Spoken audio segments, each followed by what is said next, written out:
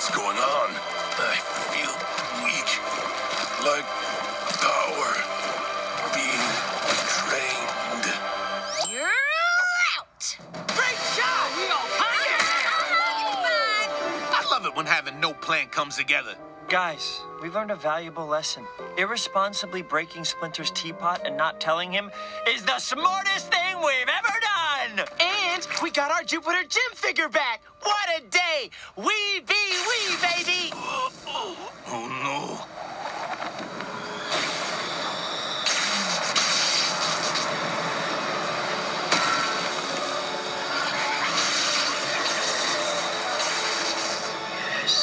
it's happening.